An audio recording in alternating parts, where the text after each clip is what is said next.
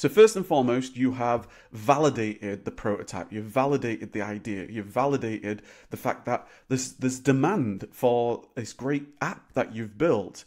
Now you want to scale. So there's a, a, a number of kind of things that come to my mind straight away. So number one is the whole idea of a a flywheel. Okay, does your app improve the overall experience for every other user? What that basically means is as you get members into your app, right? So you've got getting some input, amazing. You've got some initial users.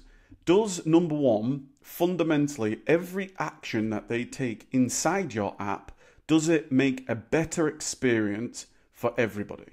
Let me give you an example. So, uh, an example is like Facebook, right? Every time somebody posts, every time somebody shares a story, every time somebody puts a bit of content onto Facebook, it's actually making the experience better for everybody else.